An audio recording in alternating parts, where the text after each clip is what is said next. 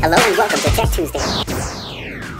Today I'll be sharing about my favorite app of all time, Flipboard. One of the biggest reasons I love Flipboard is because it's Free. You like that? Step one, you're gonna download the app. Step two, you're gonna sign up and then sign in. This could be done on a phone and now on a desktop. Step three, pick your content and enjoy. You can pick any kind of content that you want. It's your own personal magazine, so you can have technology, business, you can in- integrate your social media all into one simple place.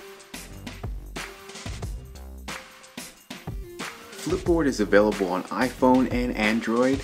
It's also available on the Windows Phone and the Surface tablets. There you have it. Enjoy. Thanks for tuning in this Tech Tuesday. Thank you. I'll see you guys next time.